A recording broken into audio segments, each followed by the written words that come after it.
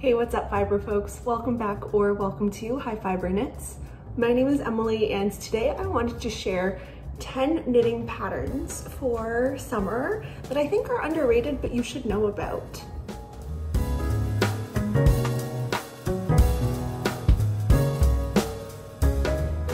This video is completely and totally inspired by my friend Rachel from Night Sky Knitting.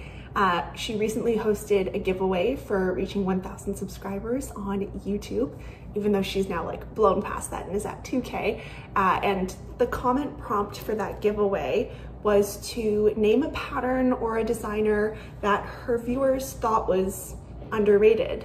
Um, and similarly, in one of her recent podcast episodes, she was talking about how she knit her fortune sweater by Petite Knit, which is a pattern that she doesn't see talked about much by English speaking podcasters, but she's seen a good handful of them knit by French speaking knitting podcasters here on YouTube. And so um, we met up for coffee a couple of weeks ago just to like chat and knit. And we were talking about how while social media for knitting can be a really good source of inspiration, it can also turn into this like echo chamber where we're seeing like the same 10 patterns by big designers being knit all the time. And I'm totally a culprit of this. My knitwear collection is very abundant in petite knit, Sari Nordlund, and my favorite things knitwear patterns. And so I think like we talk a lot about supporting indie yarn dyers, um, which is fabulous and like supporting local, but I think we can do better in terms of sharing and showing uh, other knitwear designers who are maybe less prominent. So I've got a whole bunch of patterns to share with you. My idea of like less known or less prominent is less than 100 projects knit on Ravelry. So for all of these, I'll share why I think it's an interesting pattern, uh, as well as when it's available, what the size ranges are like. Some of the patterns are more size inclusive than others, but I want to sort of give a rationale as to why I'm sharing all of these patterns. Um, I'll try to let you know what type of yarn is called for in the pattern and I've tried to include some things with a whole bunch of different like style and design aesthetics. So hopefully there's a little bit of something for everyone.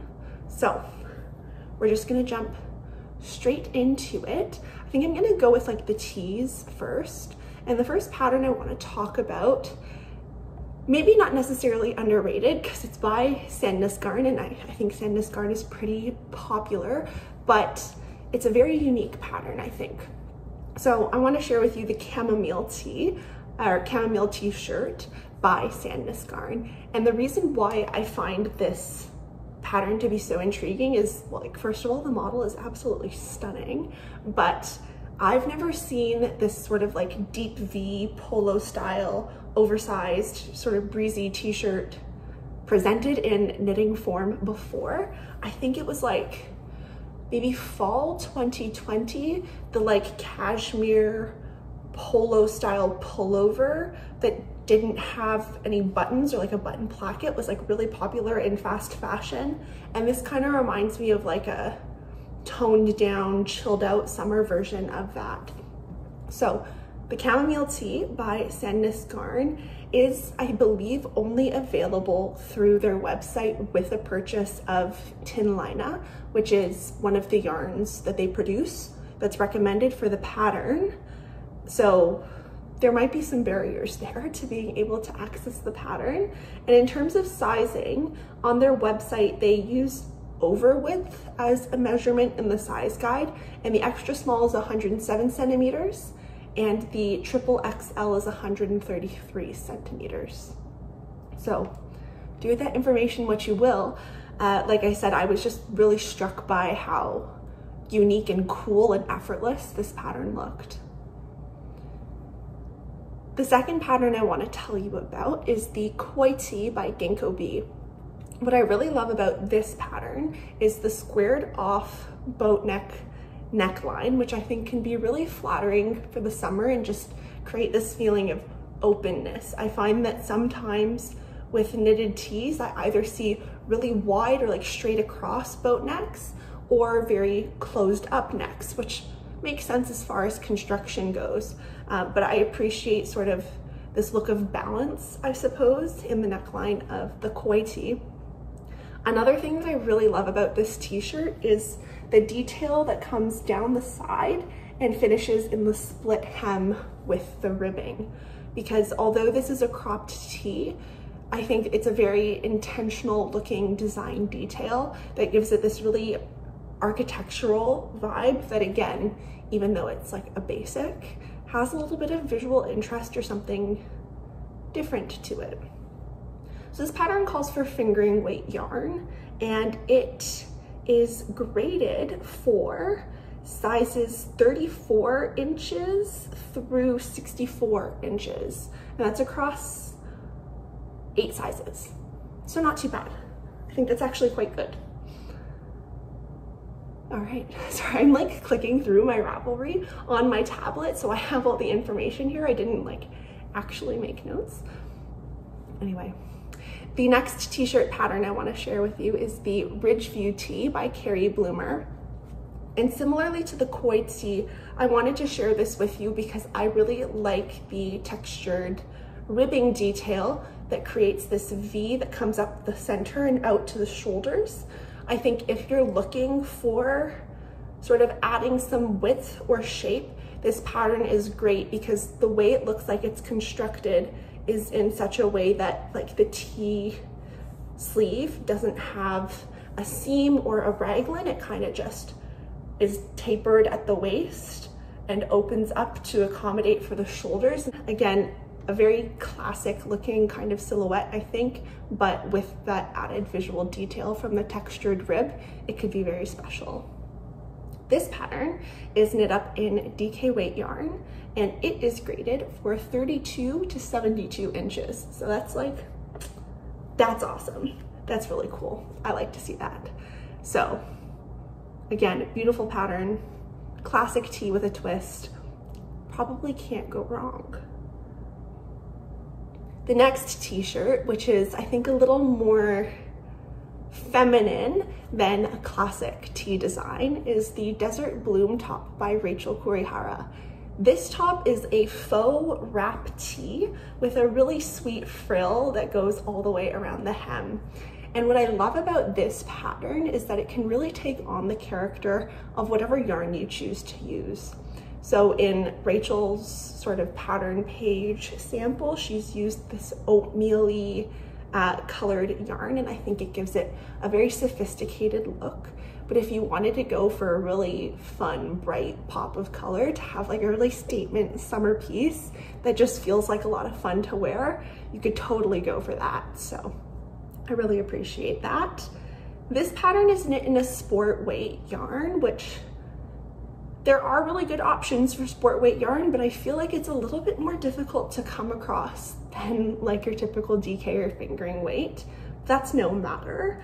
And then the sizing goes from a 31 inch to a 64 inch bust, including zero to 10 centimeters of positive ease at the end. So I think this pattern is really beautiful. Again, depending on how much ease you go for, you can get a very different vibe from it, which will suit whatever your taste is. The next pattern I wanna share with you is the only one in this list that has color work, and it's the Nomad Tee by Rachel Ilsley.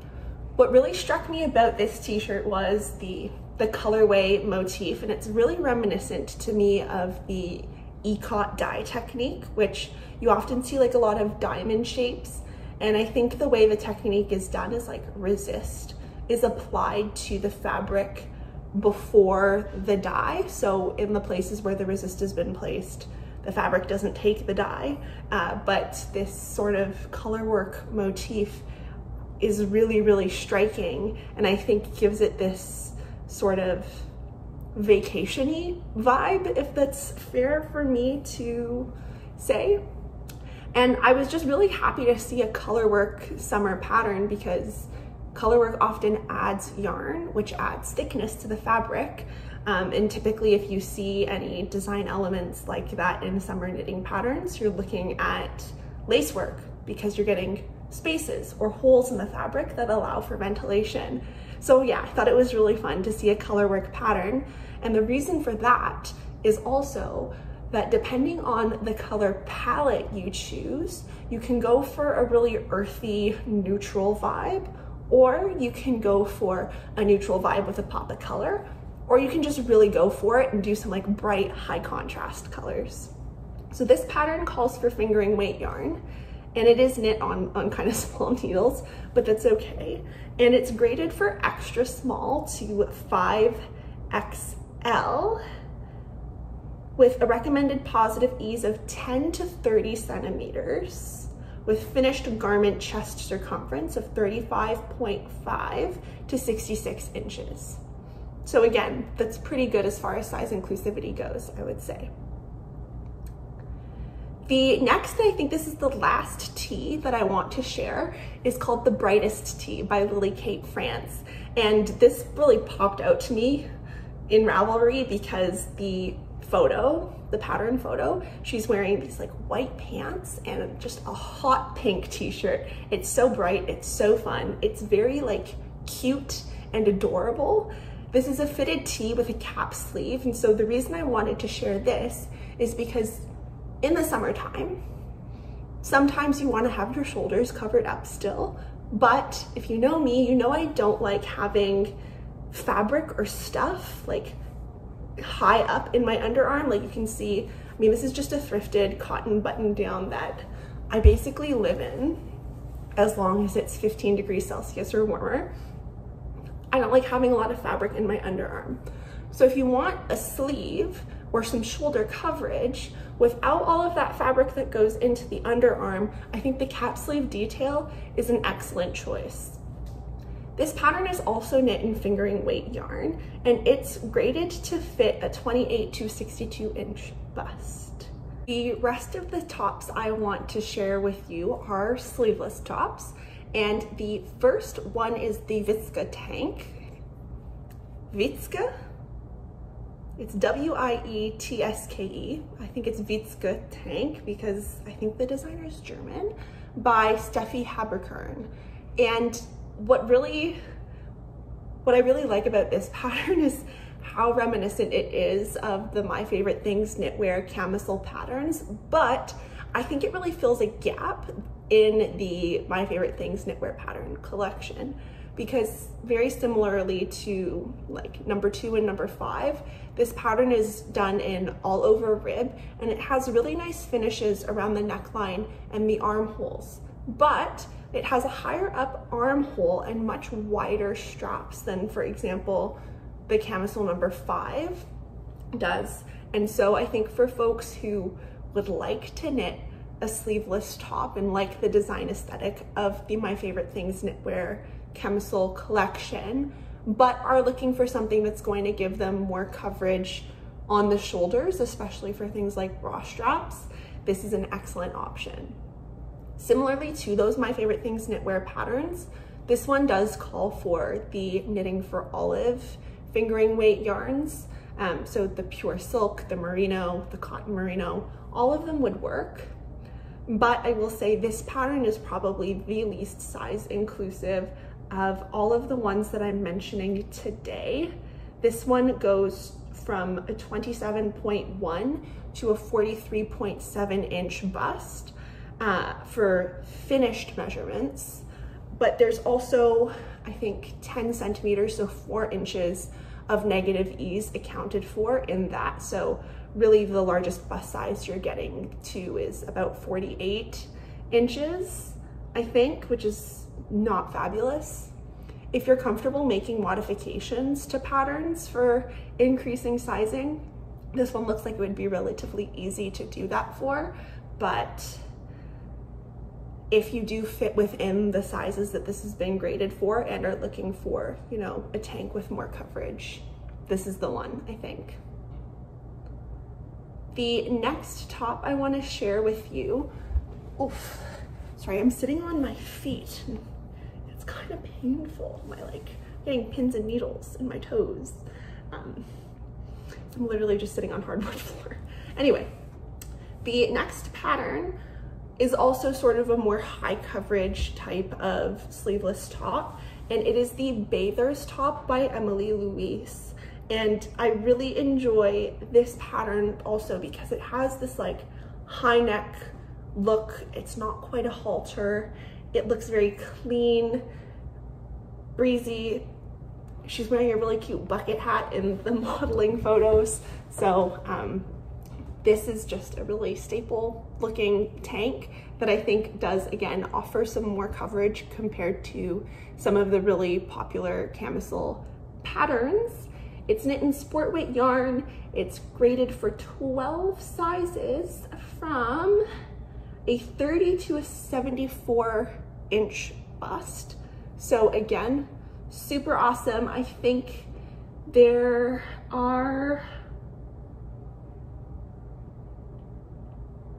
not short rows. I thought there were short rows in this. Uh, but anywho, that's not the important part. It's mostly stockinette, so it looks like a pretty simple knit.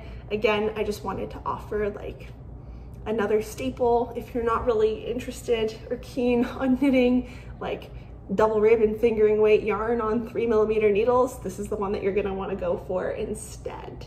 So that's the Bathers by Emily Louise.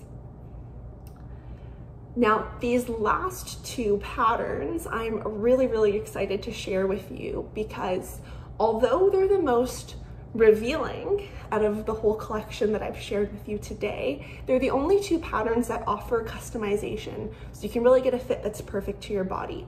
I think if you are opting to knit something that is going to be more revealing, there's just some comfort in knowing that the finished object you have is really meant for you. So the first pattern is the Made You Look top by Ocean Knits, and the designer's name is Vanessa Fleming. Ocean Knits has this line of the You patterns that all feature this gathered bust with sort of like a tie sometimes at the front. And so this You Look top has thin straps that sort of come through a channel to tie at the front and create that gathering effect. Underneath the bust, it's all ribbing, so it'll sit against your body really closely. But according to the pattern page, you can have up to 110 size variations depending on your under bust measurement and your bust measurement. So the stockinette portion, you can do sort of the calculations within the pattern to make sure that it shapes to your bust perfectly. You can have as much or as little sort of exposure as you would like in that realm. So this pattern is actually one of the only Aran weight ones that I came across and I think that's great as well because it'll make it a really nice and quick knit. And I think it's pretty easy to find like Aran weight cottons on the market currently if that's what you're looking for. I think in her pattern she suggests we have Wool and the Gang Shiny Happy Cotton, which I've personally never used, but I've heard many folks have used it and enjoy it, as well as the Blue Sky Fibers Organic Cotton Worsted. Maybe they sell it in another sort of weight. Yes, weight. That's what I wanted to say. Uh, so yes, Aran weight, only pattern so far I've shared that comes in the, or calls for Aran weight. And this is graded for under bust sizes 25 to 45 inches, but again, but again, because you have all of that bust customization, you can get a really tailored fit for yourself. And finally, the 8 p.m. tank by Tiffany Tai, who you can also find as Tiff Knit. This is a DK weight pattern that has the body knit in rib and then this really cool like modern looking welt that separates the rib from the bust portion and that bust portion is the piece again that is fully customizable for your size and I think that this pattern has like a really cool kind of like metropolitan type of design aesthetic, if that makes, sorry, I feel like I keep spitting. Like a metropolitan or like a modern kind of edgy. That's what I'm looking for. I think this is the edgiest pattern out of all of them. Like the made you look, sort of that milkmaid style is very kind of like cottage core feminine, whereas this one's sort of more edgy and cool looking, if that makes sense. So DK weight yarn, again, fully customizable, I believe bottom up, finishes with some straps that I think you can also customize the thickness of. And last but not least, the sizes. It is made to measure, once again, for 25 to 50 inch under bust. So sweet, good job. I was actually, I have to say, when I started looking through Ravelry, um, I kind of did a bit of a deep dive because I have those three balls of Holstgarn Super Soft in the colorway Truffle. And I started a camisole number two in that yarn. And I think the gauge was a little too holy or like gapey for my taste. And I just don't think that yarn is destined to become a camisole. So I wanted to look more into t-shirts and other summer knits and and I was like, you know what? A lot of these are super cool and really interesting and things that I would love to make. So I would like to make a video about all of these patterns that I think are underrated. But I was kind of concerned that most of the patterns I would find uh, would not be size inclusive because it seems like a lot of the summer tops that are being talked about currently, or at least I recently knit the Vegas top and that wasn't really size inclusive. Um, so all of this is to say, I was just pretty impressed by how size inclusive these patterns turned out to be. And like full disclosure, I kind of made a short list of patterns and then looked at the sizing as opposed to selecting just based off of sizing because I was curious to know you know, if I just pick these ones that I'm interested in, what is their size inclusivity going to look like? It's like a mini experiment. Um, so yeah, I was, I was just pleasantly surprised about that. So again, I, well, not again. Those are all of the patterns I wanted to share with you. Of course, everything, designers, patterns, going to be linked below. I like to think that I'm quite good about keeping a thoroughly detailed description box. So all that information is gonna be down below. Um, and I hope you found some inspiration in this video. I know I am definitely like guilty as charged in terms of knitting patterns from big names. And I think like to an extent, it's fair. The more you see people have knit something, the more confident you feel in your own choices of maybe yarn or color sizing so you have a better idea of the fit because you've seen the pattern on more bodies. Um, but I think it's also important to explore other things that are out there. You know, if social media is an echo chamber, then this is me sort of shouting into that echo chamber. Hopefully something a little different because I, I don't know, I felt like a little conflicted sharing and talking about my Vegas top by Paula strickt because it currently isn't a size inclusive pattern. I did reach out to the designer and she said, I would like to expand my size range, but I would need testers to test those sizes in German and it's a little harder to find German speaking test knitters, I guess, compared to the size of the community that can test in English. Um, so I was like, feeling a little conflicted because I was like, I know this isn't a size inclusive pattern necessarily, but I've knit it, I should share it. And then I had so many people reach out to me thereafter saying, I bought this pattern or I'm knitting this pattern because I saw yours and I loved yours. And it just made me realize and reflect on the fact that, you know, even though High Fiber Knits is growing, it doesn't matter how many subscribers I have on YouTube or how many followers I have on Instagram. Like the things that I'm sharing and the things that I'm saying are having influence on other people. So um,